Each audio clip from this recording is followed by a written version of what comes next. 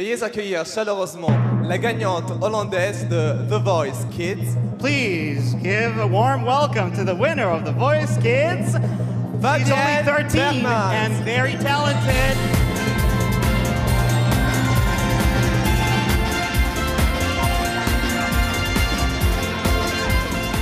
It's a beautiful day today, and I would like to say to all the children in the world believe in your dreams, because beautiful things can happen.